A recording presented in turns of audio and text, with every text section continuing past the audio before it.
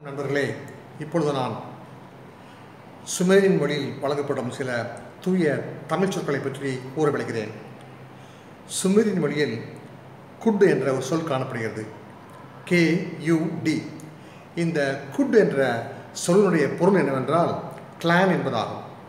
ஆக கிளான் என்ற ஆங்கில சொல்லுக்கு இணையான ஒரு சுமேரன் பதம் என்னவென்றால் குட்டாம் கேயூடி நண்பர்களே இந்த கேயுடி அந்த குட் என்ற சுமேரியன் சொல்லானது ஒரு தூய தமிழ் சொல்லே ஆகும். எப்படி எனில் குட் என்ற சொல்லை நாம் கூட்டம் என்று படிக்க வேண்டும். இம் என்ற விகுதியை நாம் சேர்த்து படிக்க வேண்டும். நான் முன்னமே பல முறை கூறியிருக்கிறேன் தமிழ் மொழியில் இம் இன் என்ற எழுத்துக்கள் காணப்பட்டால் அவை வேறு மொழிகளில் அவைகளை காண இயலாது.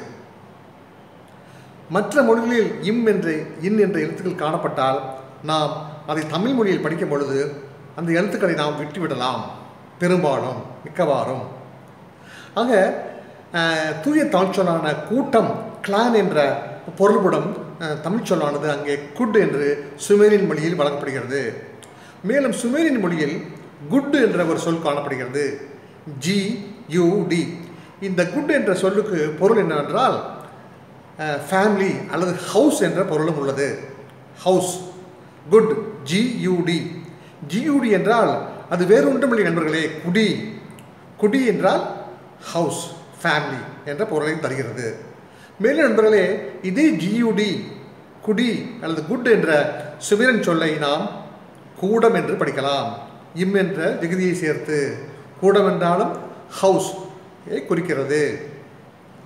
அல்லது கோட்டம் என்று படிக்கலாம் இம் என்ற விதி சேர்த்து. ஆக கோட்டம் கூடம் குடி என்ற சொற்களைத்தான் அந்த சூத்திரமாக அங்கே சுமேரியன் மொழியில் குட் என்று வழங்கப்படுகிறது. The Tamil word for family or house is குடி.